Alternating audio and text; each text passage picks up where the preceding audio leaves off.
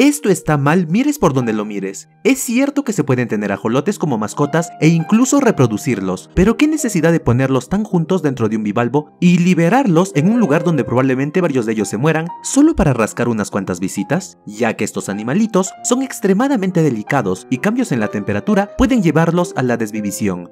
Fin.